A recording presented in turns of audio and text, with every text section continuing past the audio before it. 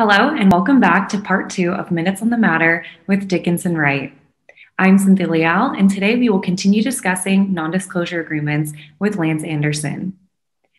So, Lance, in our previous discussion, you mentioned the importance of non disclosure agreements and that companies working together might have joint or two way NDAs. And it seems like folks enter into two way NDAs to be mutually protective. Um, why be concerned with two way NDAs?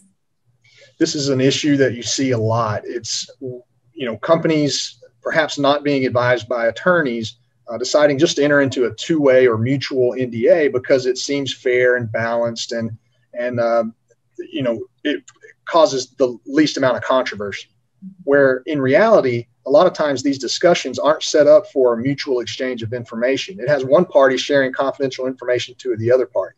So if I'm the discloser or if I'm representing a client that's the discloser of information, uh, you don't necessarily want to have that mutual feedback loop where you could be disclosed information that you now have to keep confidential and you didn't intend on receiving that information.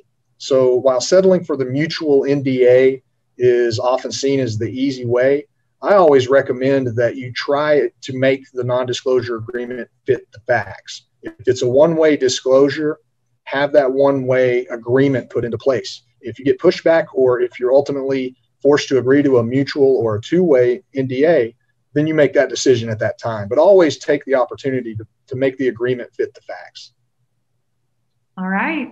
Thank you so much for your insight today, and hopefully, our listeners will be able to benefit from your sage advice on non disclosure agreements. That concludes our today's edition of Minutes on the Matter with Dickinson Wright.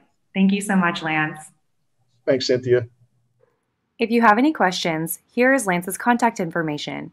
For additional information, check out our website, dickinsonwright.com.